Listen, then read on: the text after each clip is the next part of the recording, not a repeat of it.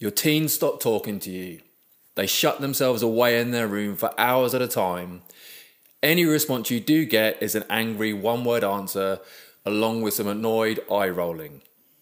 Take a deep breath. Pulling away from parents is a completely normal part of development during the teenage years. Whether you should be worried or not really depends on why your teen has stopped talking. So let's look at three possible reasons why your teen won't talk to you and what you can do about it. Hello, I'm neuroscientist Dr. Ben Webb, sharing brain advice for a mentally healthy and happy midlife. Welcome to episode 78 of Better Brain, Better You.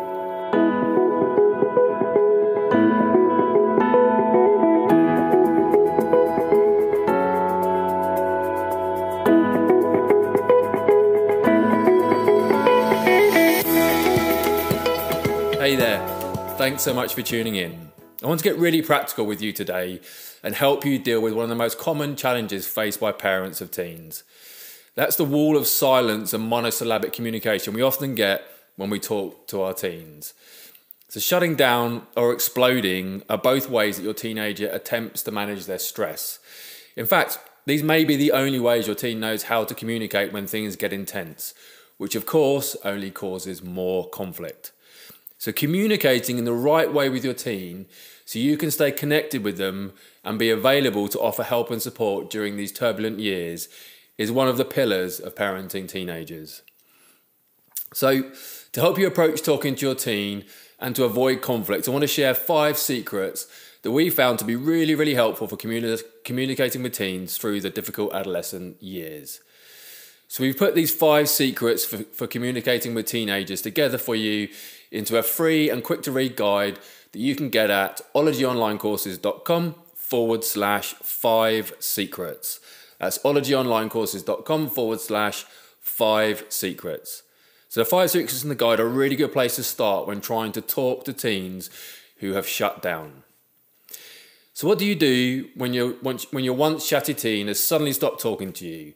No parents enjoy getting the silent treatment from their child, especially when you feel feel like you've enjoyed a really close relationship with them and nothing has changed on your end. So, the first thing to do is to take a breath and understand that pulling away from parents is not only normal but also actually necessary a necessary developmental stage of adolescence. So navigating this transition towards independence is difficult as much as children hate to admit it and probably won't. They still need their parents to stay connected and involved in their lives. So teens need their own space, but they also need their parents. And in fact, most teens say they want to be closer to their parents, but don't know how to do that. So while your child is doing the work of separating, you need to do the work of carefully bridging the gap and staying connected. So start by meeting your teen where they are. And whether or not you have cause for concern really depends on the reasons why your teenager has stopped talking to you.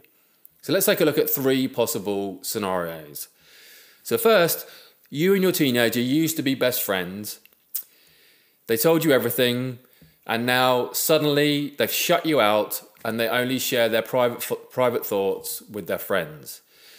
So, in this case, you have very little to worry about, and painful as it may be, you have to try not to take their, take their choices personally. They're doing what they're supposed to be doing during their adolescent years. And here's what to do.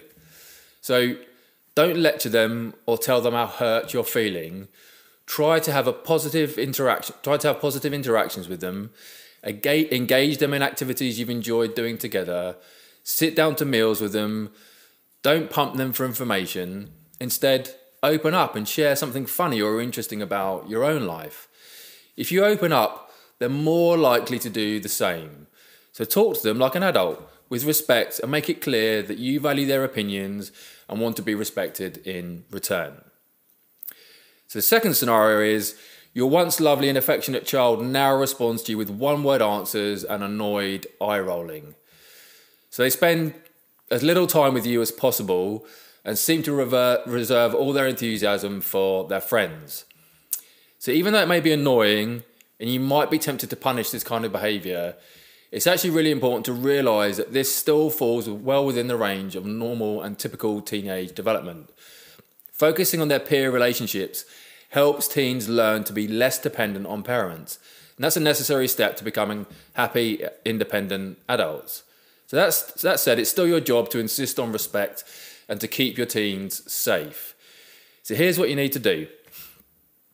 So set appro- appropriate limits, but focus on strengthening your relationship too. You'll get no respect if they don't feel connected to you. So resist the urge to lecture. So if you can do that, they won't need to push you away in order to become themselves. Remember that teenagers can be emotional. Look for the distress under the disrespect and remind them of who they really are. So by saying something like, I wonder why you're upset, because you aren't normally unkind, to try and create the beginning of a conversation. So, the third scenario your teenager speaks to no one and spends all of their time in their room with the door closed. So, they've withdrawn from friends, lost interest in activities that once gave them pleasure, and have grown increasingly isolated. Okay, so this kind of behaviour is a cause for concern and falls outside the realms of what we might expect from normal teenage development. So, this behaviour could indicate the beginning of a mental health issue, such as depression or anxiety, all of which actually become much more common in the late teens and early 20s.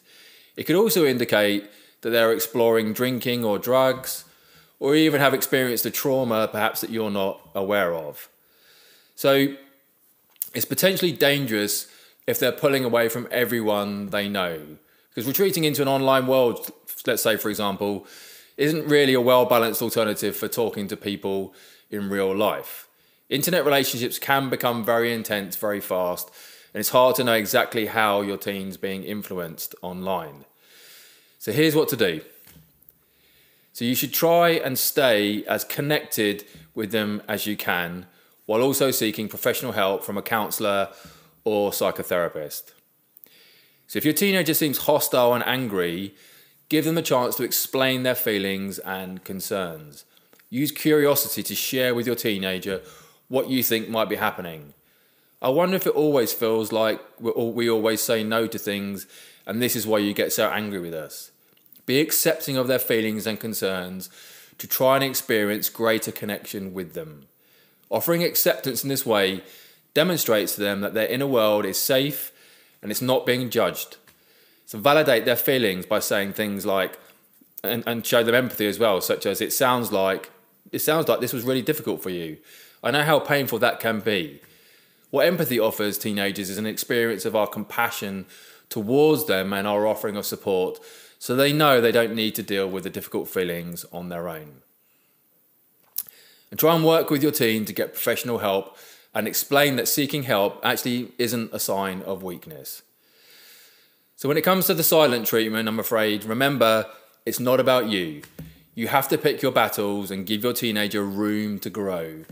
But you should also have to put your teen's health and well-being above all else. And that means staying connected even when they don't make it easy or fun. So that's it for this week. Look after yourself, and I will look forward to seeing you next time.